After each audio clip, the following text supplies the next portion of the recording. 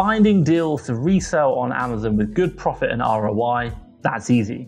Finding deals with good profit ROI and that actually sell, that's the hard point. Today, I'm going to share with you three ways that you can check or estimate the sales of any listing on Amazon, and we'll do it on a live screen share. Stay tuned.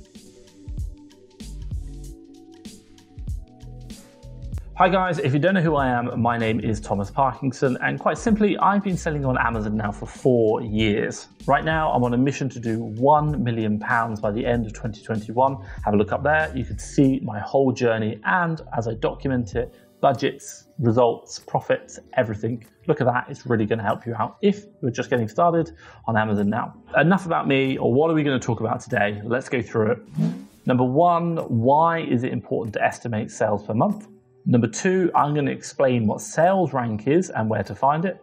Number three, I'm going to share with you top method number one for calculating sales per month. Number four will be top method number two. You can probably guess it. Number five will be top method number three. Okay, first things first, why do you need to know or understand sales per month? Why is this important? If I were to give you the example, let's say for example right now we found a product that was going to make us £50, $50 profit and had an ROI of 100%. You'd be like, that is amazing, I'm really happy. But what if I told you that product has never sold? You'd be like, probably not going to be profitable. Or perhaps maybe there's another product, let's call it £50, $50 profit and 100% ROI. But this time it's only selling two per month and there's 100 people on the listing. Would that be a good, it was 100 competitors, would that be a good product? Probably not, it's a bit too competitive. Quite simply, profit and ROI alone are not good enough indicators to understand if it's a good product. You need to understand how many units the product is selling because there's so many other variables. When I talk about doing deal analysis, I talk about the three fundamentals profit, ROI, and sales. Without sales, profit and ROI mean nothing. So, being able to accurately understand or estimate sales per month is going to be key to ensuring you're running a business which is making you profits. One thing I do need to say to you is that sales estimations are based on historical information. They are exactly as they say they are estimations. Why is this? Because quite simply, Amazon does not release true sales data and nor can we use any information provided by Amazon. We have to use it from third party providers who kind of amalgamate it from lots of different data sources. So it is exactly as it says on the tin an estimation. What you might estimate could be very different or slightly different to what you're actually seeing in real life. So just be aware of that. Now, quick question for you guys. How do you estimate your sales per month? Before I jump into mine, let me know down in the comments below. I'm really interested. Maybe you're doing something that I don't know and I need to learn from you. Before we jump into actually how to estimate sales, we need to understand one key fundamental, and that is called sales rank. Now, before I explain exactly what sales rank is, I want to show you how to find it. So let's jump on the computer quickly and I'll show you where to find it on any listing. So right now I've just loaded up into uh, a Lego product and you'll probably see I use FBA multi-tool. Don't worry about that, you don't need it. It does show the information, but I'll show you how to find it without a tool. So quite simply, in this product right here, we've got this Lego product.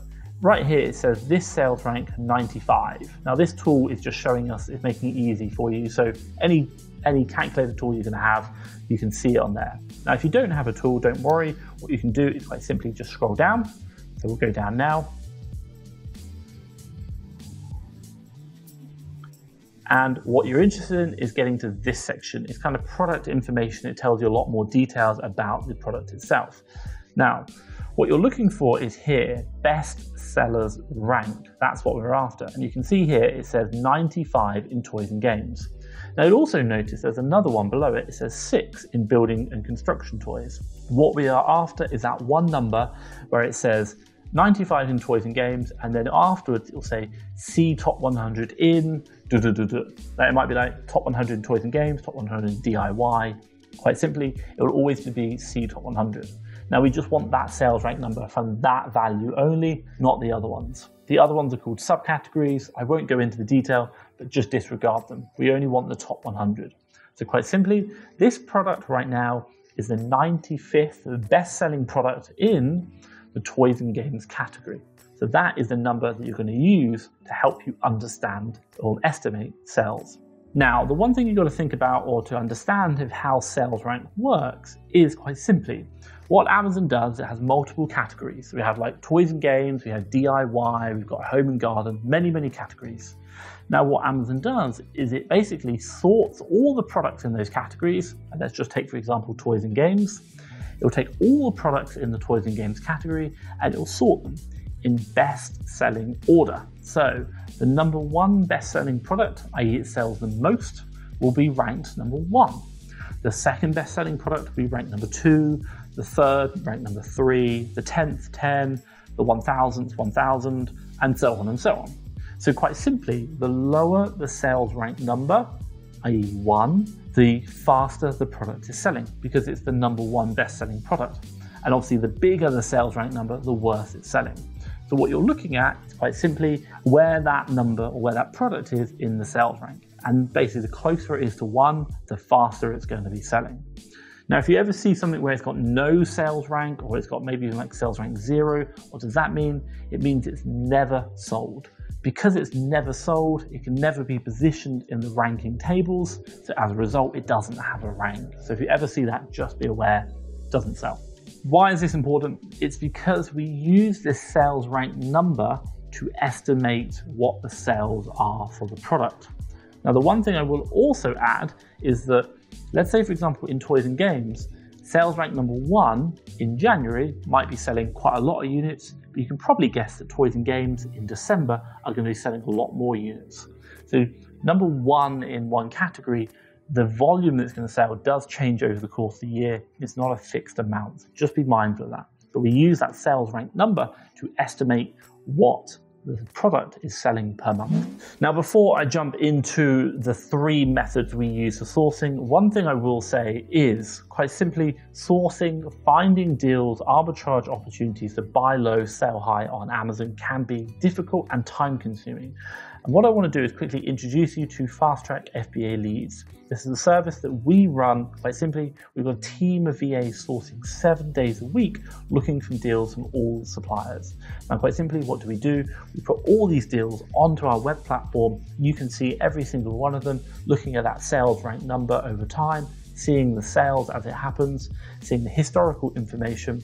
And when you find a deal that you like, when it meets profit, ROI, and sales, you can then quite simply unlock it, access the Amazon ASIN and the supplier link, and go out and buy those products to resell on the Amazon marketplace. If you want to know more, have a look down below. I will drop a link to Fast Track FBA leads there.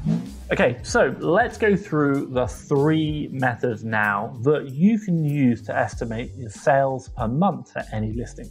Okay, so method number one is using a calculator tool such as FBA Multitool. Now what I want to do now is jump on screen and show you this in action to help you understand. Now quite simply, I've just gone back to that product I used previously. This is a Lego product. Now quite simply on here, remember this is sales rank 95. Now what's going on here is quite simply, this tool is estimating the sales, and you can see it up here, for that product based on sales rank 95. Now, quite simply, according to FBA Multitool's website, they have partnered with someone called SellerApp to get their sales estimation volume. So, quite simply, what they're doing is taking that category and the rank in the category, passing that to SellerApp, and then feeding that back to you and giving you the sales estimation figure. So, right now it's saying between 1,000 to 100, 1,300. So, that is one simple way you can use by using a tool such as FBA Multitool. Now, one thing I will say is if you are interested in FBA Multi-Tool, have a look down the link down below. But also as well, up above, I'll drop you a how-to guide on how to use it, where I document what we do when we use FBA Multi-Tool and my exact deal analysis process step by step. So hopefully that will speed you up in finding deals. Okay, method number two. Now, quite simply, this is using something called the Jungle Scout Free Sales Estimator. Now, this is a website you can go to provided by Jungle Scout, which allows you to put in the marketplace, the category, and the rank and see the sales. So, jump back on the computer now and go through that. So, quite simply, let's just go to Google and type in Jungle Scout Free Estimator you just type Jungle Scout Estimator. So there we go. Right here, Jungle Scout Estimator. Let's click on that, load that up. So if you want to know how to get into the estimator just from the main site, just go to resources and then sales estimator. So it's right there. Now, quite simply, here we've got the Jungle Scout sales estimator, what we're looking to do. So let's just say, for example, this product here, we are sales rank 95. What we're going to do is put in sales rank 95. We're going to choose the marketplace, so we're United Kingdom, and product category, remember, toys and games. And then let's click estimate sales. What's that going to do? It's going to go through and take that information and estimate the sales. So quite simply, it's now come out 4,170. So it's saying for this product is 4,170 sales per month for that listing. So remember, FBA multi-tool was 1,000 to 1,300. This is now saying 4,000 to 4,170. Quite a big difference there. Okay, so the third and the final method which we're going to use is something called Keepa, reading the Keepa charts to allow you to estimate the sales per month. Now, the one thing which I'm going to say for you is this generally doesn't work for estimating sales per month over about 20 units. What I generally say, if you think a listing is doing more than 20 sales per month, I'd probably say go with one of the tools. It's probably going to be a more accurate figure. But under 20 sales a month, this method is amazing. It's very good for looking at slow selling items. Why? Because you can literally count the sales, you can see them happening as they go. Now, quite simply, what does Keepa do? Keepa is a Chrome extension add on that does cost about 15 euros a month, but quite simply, what does it do? It records that sales rank number. Remember the 95 we had on the Lego? It will record that over time and it will show that on the graph. So it will record it going up and down, up and down over time. Now, quite simply, when you're doing more than about 20 sales per month, the frequency of those up and downs, it just doesn't really happen too much. But when you're doing less than 20 sales a month, you can clearly see the up and downs. And what you can do is you can count the number of drops that it has and estimate how many sales per month it's doing. So we'll jump on now and do an example of whereby it's over 20 sales a month and you can see what the graph looks like and see, well, I probably wouldn't use it. But also as well, I'll show you an example of when you can see the graph and as a result, when you would want to use the Keepa method because it is a great method for slower selling items. Let's jump on now.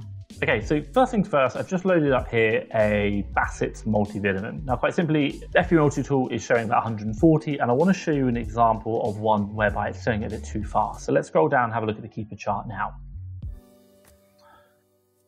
So this is the Keepa chart now, and if I kind of just take a screenshot, and what I'll try and do is zoom in. So quite simply, what am I looking at? I'm looking at this top box here, and I'm looking at this green line. And what I'm really trying to do is I'm trying to see the drops.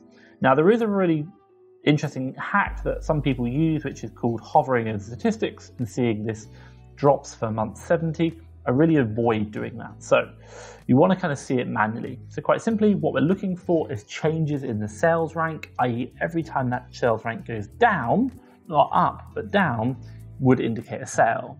Now, the interesting thing about this is this product is, you know, FBA multi-tool saying about 140, it's probably doing that, if not more.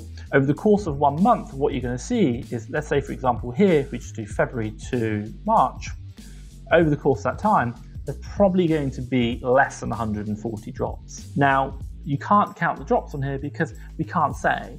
Now, let's say, for example, even if this product was sales rank number one for the whole of the month, there would be no drops. Because there are no drops, it shows you that the counting the drops method doesn't work for anything over a high volume of sales, simply because sales rank number one we know sells more than one sale per month. It's going to sell a lot, lot more. So if you just think about sales rank one, if it was the whole month, it would do one. You cannot use counting the drop methods for high volume items. But let's now jump over for an example of a low volume item where you can count the drops and how this method does work. Right, okay, so now jumped over to this product here, and this is a product whereby the sales estimator is saying like five, less than five sales per month. So let's scroll down to the Keepa chart and have a look now.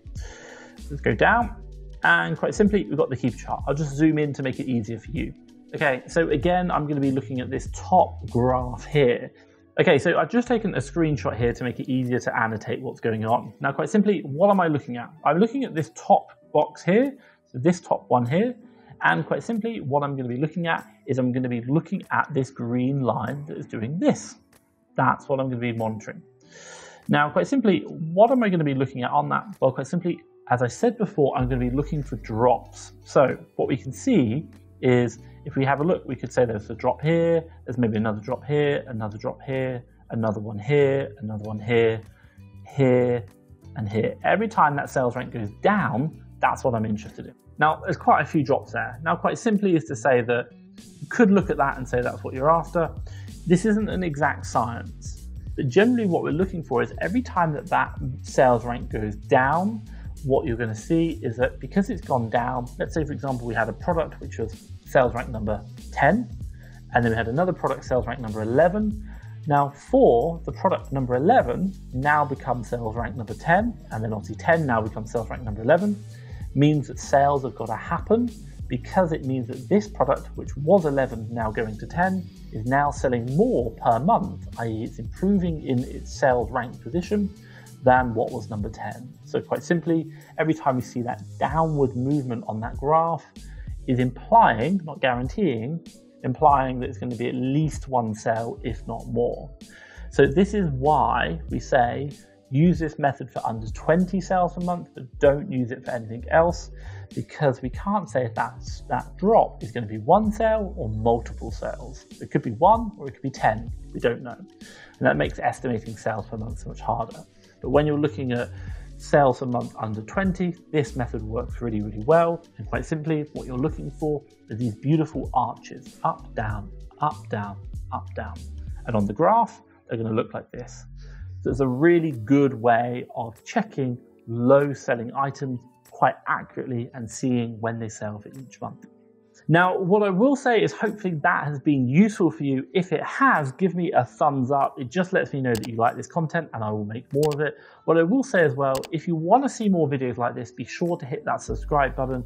But what I'm going to do is I'm going to drop a link around here to some Keepa training. That method number three I talked about was very much using Keepa and I really believe understanding Keepa is key to growing a great Amazon business because you understand how to read what's gone on with the product in the past. So watch that, it's going to help you out. But for me, Thomas Parkinson and Fast Track FBA, thank you very much.